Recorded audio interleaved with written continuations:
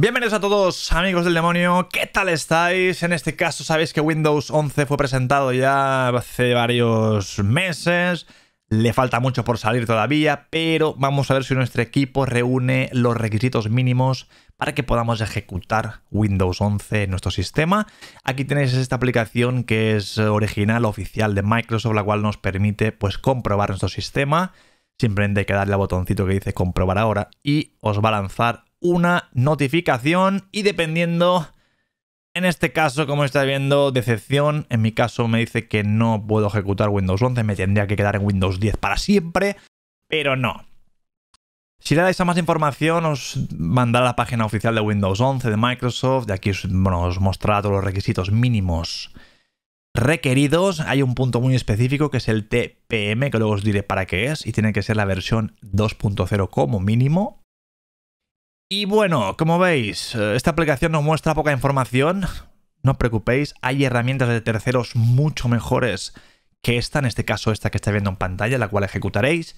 Yo os eh, nutrirá de muchísima información, como estáis viendo, en cuadraditos de color OK o en rojo, el cual es el motivo por el cual tu ordenador de momento no es compatible.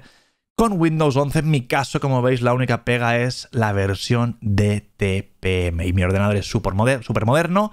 Así que eh, no pasa nada, ya que esto viene deshabilitado por defecto en nuestra computadora. Simplemente hay que habilitarlo. Cabe destacar que puede haber computadoras que tengan una versión inferior a 2.0 y no sería compatible. ¿De acuerdo? Antes que nada, ¿qué es TPM? Pues TPM es Trusted Platform Module o módulo de plataforma segura pues es una tecnología básicamente diseñada para ofrecer funciones de seguridad avanzada, ¿no? Tiene funciones específicas para evitar que el software malintencionado realice alteraciones en tu sistema, o sea, que no te pueden hackear básicamente. Además, la, el TPM 2.0, la versión más reciente en la especificación y es la que Microsoft lista como mínimo, como requisito mínimo. Además, estos módulos se pueden pues, conseguir aparte por si tu motherboard CPU pues no lo llevara ya de por sí, aunque esto ya puede variar mucho, ¿no?